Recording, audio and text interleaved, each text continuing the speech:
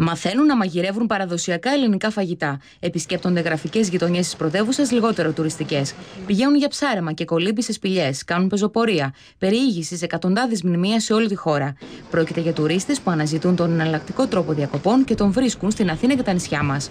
Η Τίνα Κυριακή ίδρυσε εν μέσω κρίσης την εταιρεία Alternative Athens, εναλλακτική Αθήνα. Στόχος να γεμίσουν οι τουρίστες από εικόνες, μυρωδιές και γεύσεις πέραν των τετριμένων. Γεύματα σε σπίτια. Ελληνικά. Δουλεύουμε πάρα πολύ με τοπικές επιχειρήσεις και με τοπικές οικογένειες. Αντί να πάει κάποιος ξένος να φάει σε μια ταβέρνα, μπορεί μια ελληνική οικογένεια ανοίγει το σπίτι της και μπορούν να πάνε να φάνε με ντόπιους. Ουσιαστικά αυτό, ναι. Είναι, και είναι κάτι που τους αρέσει πάρα πολύ.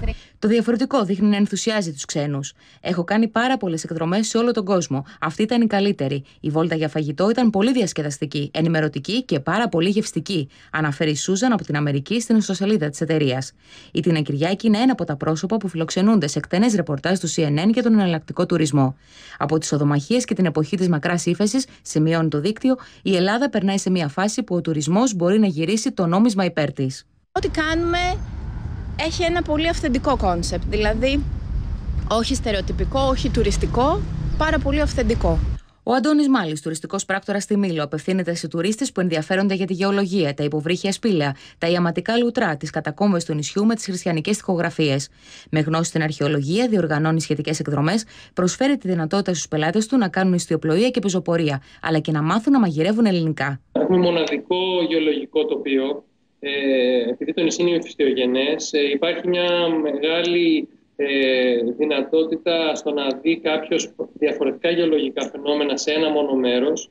Θέλαμε να ξεχωρίσουμε από τα all inclusive ξενοδοχεία, μας λέει η Μαρίζα Σβηριάδη, διευθύνουσα σύμβουλος του Θερέτρου Lindian Village στη Ρόδο.